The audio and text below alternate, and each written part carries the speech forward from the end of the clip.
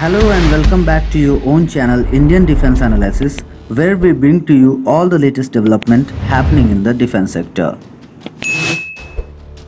In this video, we will talk about two major updates. The first update is related to BHEL and Indian Navy and the second update is related to MiG-29K flight simulator. So let's get started. Talking about first update, in a major boost to defense production under the Make in India initiative and towards achieving self-reliance in critical field of defense equipment, Goa Shipyard has placed first order on Bharat Heavy Electricals Limited BHEL for the supply of an upgraded Super Rapid Gun Mount SRGM. The SRGM is the main gun on board for major corvettes, frigates or destroyers of Indian Navy. BHEL has indigenized these guns and has stabilized dedicated complex manufacturing and inspection facility at its heavy electrical equipment plant Haridwar for production, installation, commissioning and life cycle support for these guns. Talking about the SRGM, it is 76 by 62 mm lightweight and rapid fire naval gun. It has high performance and flexibility in any air defense and anti-ship role particularly in anti-air role. It has a firing rate from single shot to firing 120 round per minute. Standard deviation at firing is less than 0.3 milliradius.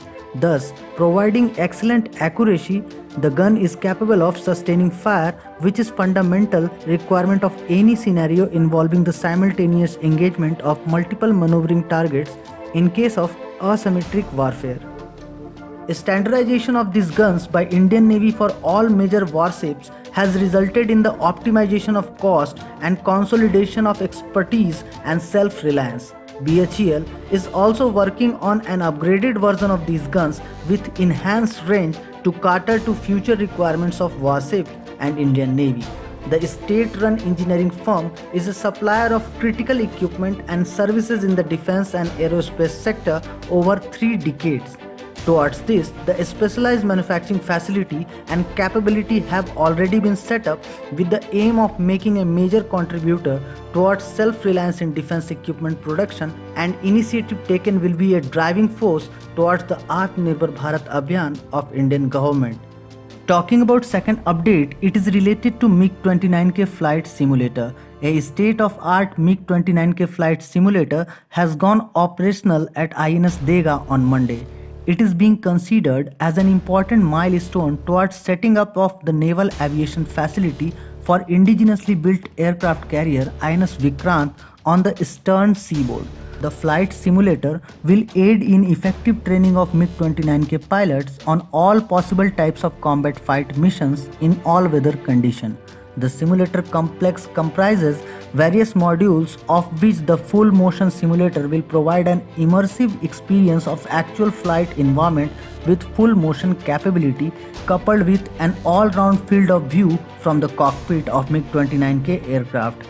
Besides providing option for basic and advanced training, it will also enable simulation for various type of flight emergencies in aircraft handling and flight dynamics. The simulator also provides option for operation from the deck of INS Vikrant and INS Vikramaditya. The infrastructure has been set up as a predecessor to the basing of MiG-29K aircraft in the Eastern Naval Command.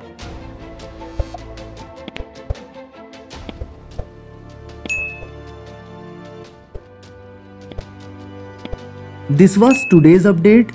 Please let us know what is your view about these in comment section. Feel free to post your comments and suggestions on any topic related to defense sector on which you want to hear from us. With this, I would like to say goodbye and Jai Hind friends. Please like and subscribe our channel if you have not done already.